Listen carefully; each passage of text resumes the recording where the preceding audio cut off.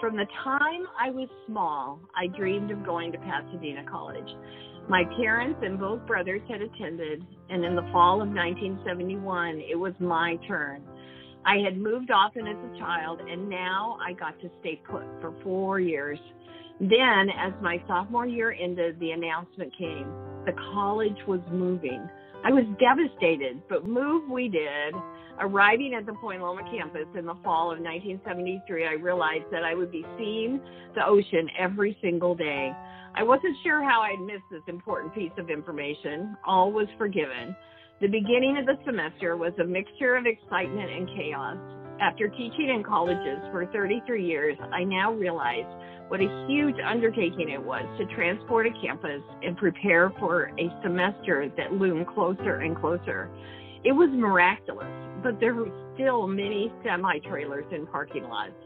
Some held important things, like the syllabus, one professor told us, had not yet been unpacked.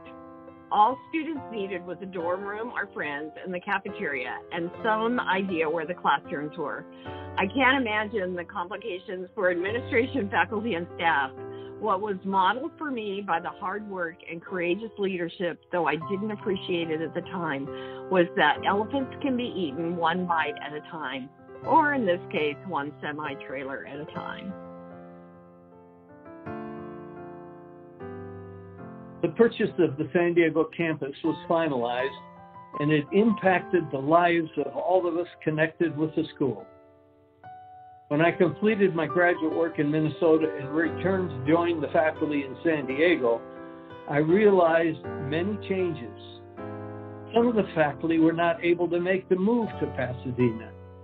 Others still had their homes there and commuted back and forth to San Diego on the weekends.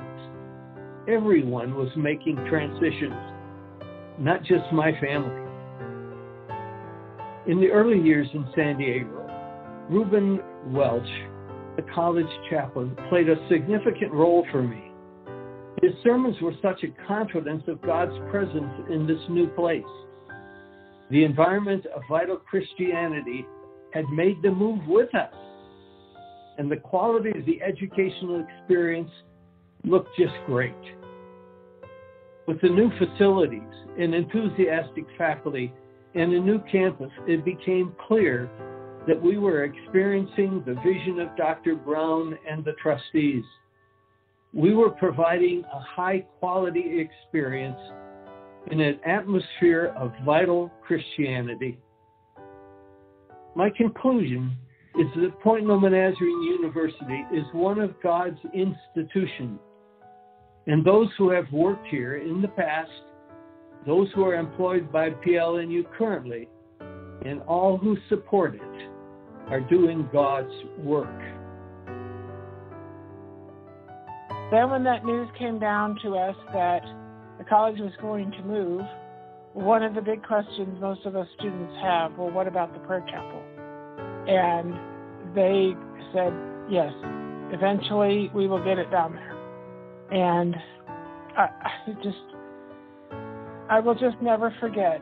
I was walking back on the Point Loma campus back to my dorm, whether it was after lunch or after a class, I'm not exactly sure, but I know it was the middle of the day. And to see this flatbed semis come in with the pieces and parts of the prayer chapel, I just stood there. And if I would have had a cell phone at the time, I would have been taking pictures. I would have been taking video because it, to me it was so moving to see that prayer chapel come down to our new campus. You know, it really brought me to tears when I was standing there and watching it, and just an amazing time.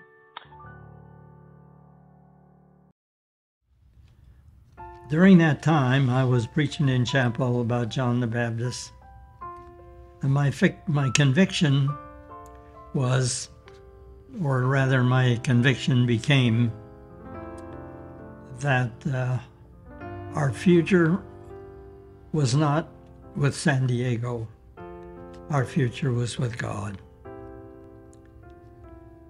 The reality is, you don't move a college, you blow it up. and reconstruct it out of the shrapnel. However, we're a better school in San Diego than we were in Pasadena. Look at the training the students get in the dorms, even. Instead of taking the approach of getting rid of the bad apples, the approach is to teach, is to reach out and help them. This is a really good school. It's a lot better than the one I attended in the 40s and taught in the 60s. Early on, I had the feeling that God was at work in this place. I found such joy here. Jim Bond was a remo- remarkable man for us. With him as president, we no longer worried if the school would survive. for institutions, openness is its own preservative. Jim Bond invited us to openness. Everywhere you looked, there was evidence of the spiritual life of this college. The students were here with a purpose. The faculty were committed. When Shelburne Brown told us we were moving, he said, We may lose everything. I had an offer from Pasadena City College and from Pasadena First Church that we could drive to San Diego on weekends to look around and cry all the way home. We asked, What if it folds? The position was we came to finally was to just commit to God and the school.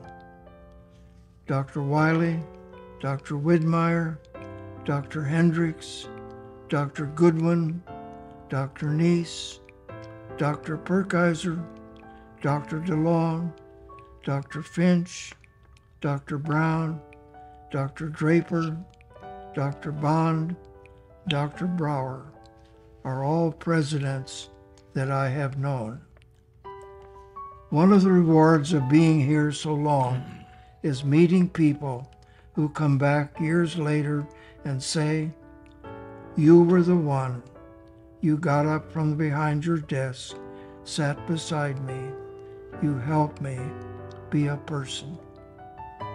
James 3:17 talks about how wisdom that comes from above is pure, peace-loving, considerate, and open to reason.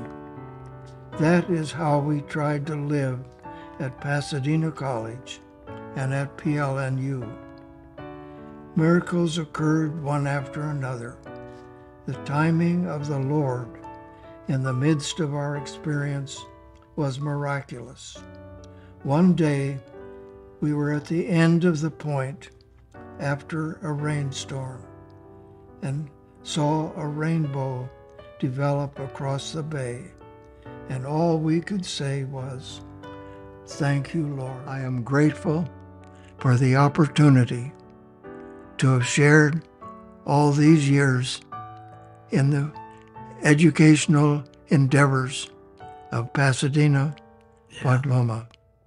And I feel I have been doing the will of God in my life and sharing my life.